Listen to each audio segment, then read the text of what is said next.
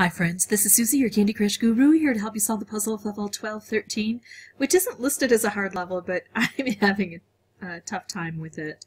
We've got 50 moves to collect 9 ingredients. The ingredients are here, we have to get them down here. Now I have some sound strategies. The first one is to try to take out the frosting first to give me more space, to take out the chocolate to give me more space, then I can uh, take out this. Another piece of sound advice I have is to kind of ignore these. They're really hard to get open and to get uniformly put down here. And even if we get them down here, and we get a wrapped and a striped. Uh, when we strike those together, it only takes out layers from the bottom portion.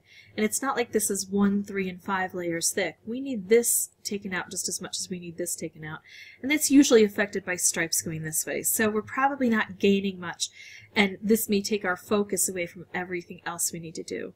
Now the third piece of advice, and I'm not sure, but I think that this works, I just haven't gotten close enough to confirm it, is that I probably only need to take out one column. I think I can get everything coming out of one dispenser. I don't think it has to come from three separate dispensers. So I'm going to work on that. I don't have a good setup at all. I can't even take out any frosting here. So I'm going to give myself a little bit of a leg up by trying at least to set something up in the beginning where we can make some progress. And this is okay, but it takes out a layer. It doesn't take out frosting entirely. I would have to take out some of that, uh, this stuff. So this is much better, obviously. Do I want to make the wrapped or do I want to make the striped? Well, the wrapped is going to help so much more take this out, but the stripe takes this out and takes out some of that licorice. I'm going for the stripe. Plus, it set up another striped or wrapped for me. I'm going to go striped again. I like the striped on this board. So now the chocolate has the opportunity to grow, and I'm not going to spend too much time battling it, except I do like to have a relatively clear board to get my work done. Um, but the more I can take out, the easier uh, time I'll have. So if I can remove it, I will. I just don't strain at doing it. Okay, so here we go. We're going to take out another layer. So see, I've got three layers gone already. And because I waited for a pretty good setup, I'm actually having a relatively good board here. Now what I need to do is I need to try to focus on making some more stripes here, but I don't have the opportunity to do it because I've got so many different colors. So I'm going to try to concentrate things down.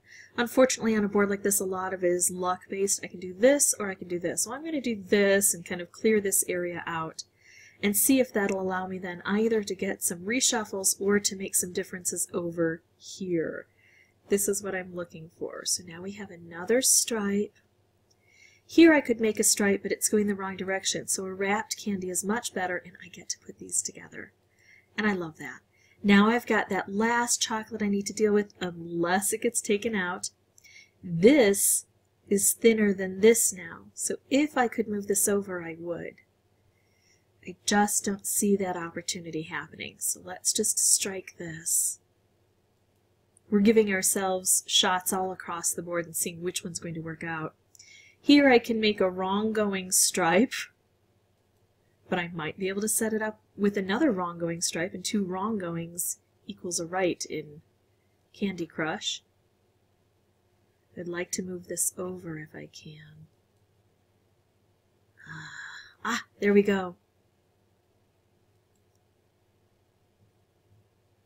Okay, this is looking excellent for me. And now I have to see how those ingredients flow through.